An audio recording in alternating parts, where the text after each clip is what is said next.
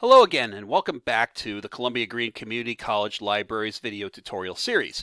I'm John Santana, your reference and circulation librarian. This tutorial today is going to be about our online databases. These are the databases where you locate your scholarly articles. So to locate those from the college library's homepage, you just go over here to the left hand side and there's databases. You click on that and eventually you get to this page.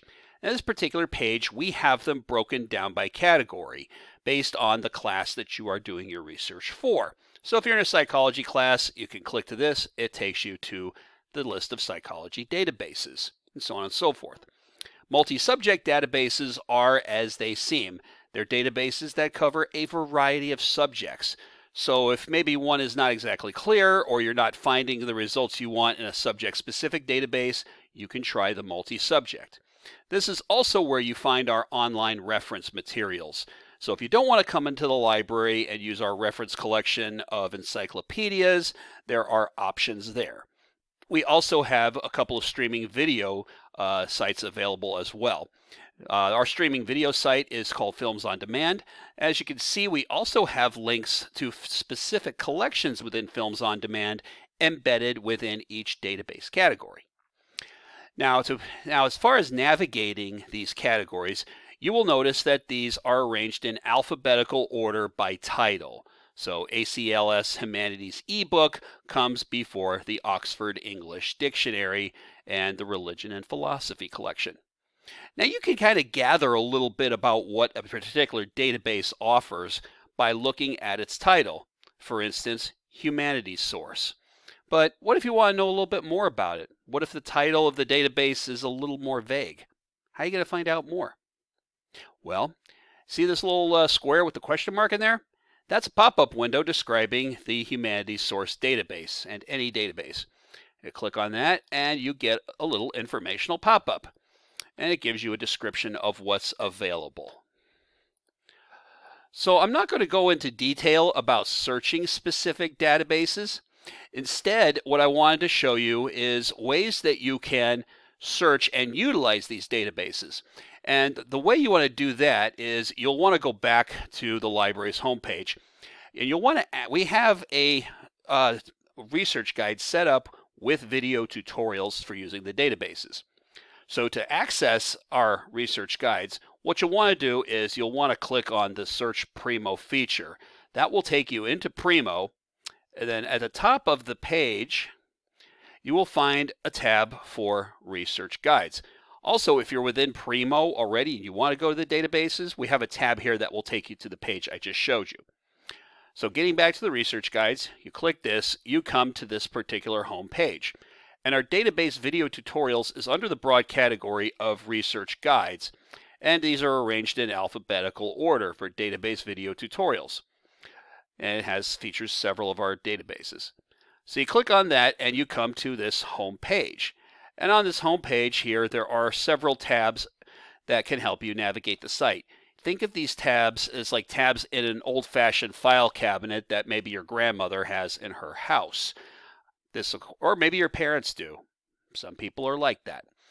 So what you want to do is you can click to the specific one that suits your, your particular needs. Now, EBSCO database tutorials, we don't have a data, too many databases that say EBSCO in there. However, I called it that because almost half of our database offerings are provided by a company called EBSCO. So the tutorials here that are on the right side of the page where it talks about advanced searching, gives you an introduction to it and how to read an article on those tutorials, they apply to all of these databases listed here on the right side. So there's so you can see there's quite a bit here uh, covering a variety of subjects. EBSCO also is the, one of the providers of our ebook databases. And if you're working from home and you need books and you're really kind of reluctant to come into the library to actually get physical books, or maybe if you're working and you just don't have the time to be able to come in, the EBSCO ebook collection is a great way for you to get books for your research projects. And the two videos that we have here uh, offer uh, how to download the ebooks, also how to download EBSCO ebooks to your mobile device. So even if you don't have a desktop computer at home or maybe someone, uh, maybe your kids are using it for their schoolwork, you can still utilize that that way. Up here we have video tutorials for a variety of other databases. Uh, for instance, there's JSTOR. This is great for historical research uh, and other uh, areas as well. And there are four videos on here that tell you how to search it, um, how to use tools within there to organize your research, uh, and even how to use ebooks within the JSTOR database, and also descriptions on setting up a JSTOR account. Okay, and next one that we, the next couple are applicable if you're in a criminal justice class or perhaps even political science, and that is Nexis Uni. Nexis Uni is absolutely excellent for uh, research in criminal justice as well as law, and these tutorials cover just about every feature imaginable. You know, things like searching from the home page, using the advanced search feature, uh, accessing court cases by party name, uh, or by citation or even docket name. And for certain criminal justice classes, you will be using this resource. If you are in a criminal justice program, uh, you will also uh, probably be using criminal justice periodicals. And there's three tutorials on this page that show you how to utilize the advanced search feature, how to make sense of search results, and a publication search as well. Uh, another one that's broad based and can apply to several different courses is America's News. That is a database that offers uh, newspaper articles from throughout the country.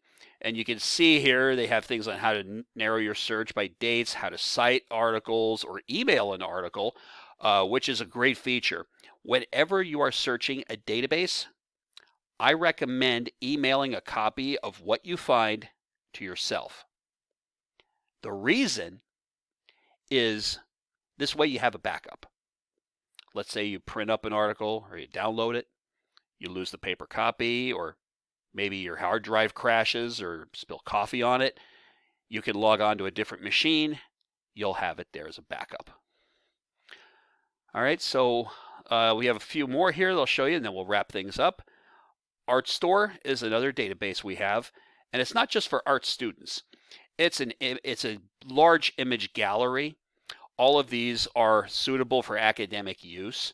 So if you have any class where you might need images for your research paper or images for a uh, presentation you might have to make, maybe you might have to make a PowerPoint for um, for a class project, you can do it through Artstor, and this tells you some features there. If you're an English 101 student and you need to write a research paper, the database opposing viewpoints is a fantastic one. And this one video on here gives an overview of searching it and how it highlights some of the features. If you need to look for information, uh, some preliminary information for your research project, Britannica Academic is a fantastic resource.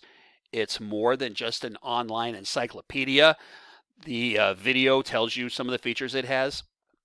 It also has images as well that you can use for your research project. And the final database tutorial we have is for the Oxford English Dictionary. And that's more than just looking up the meaning of a word, and you can search this tutorial to find out more.